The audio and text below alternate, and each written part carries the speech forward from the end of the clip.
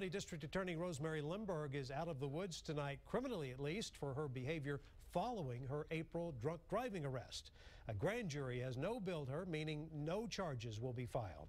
KXAN's David Scott explains exactly how they came to that conclusion. But you've been arrested for DWI. That's y'all's problem.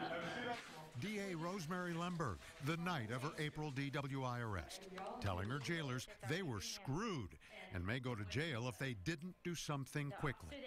After hearing witnesses and the jail tape, grand jurors decided in 30 minutes it did not rise to the criminal level of false or malicious accusation. It would require the finding that she was willing to lie about what the jailer's conducts was, were.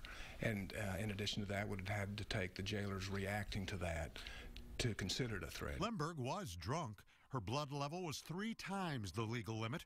Her rant may have been unseemly, but was it threatening? Well, the jailers could probably speak for themselves, but the jailers in this case, unfortunately, are exposed to this kind of conduct from intoxicated people from time to time.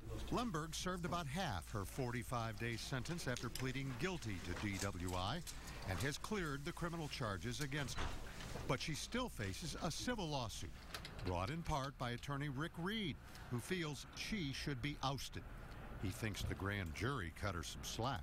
They looked at it from the standpoint that she's already been charged with driving while intoxicated. She's already pled guilty to that. She's already been punished uh, for that. And uh, the comments that she made were comments made while she was intoxicated. Well, in a statement released today, Lehmberg says she's pleased that this part of the process is complete, and she will stay focused on serving the people of Travis County. One more hurdle to go. David Scott, KXAN News. Still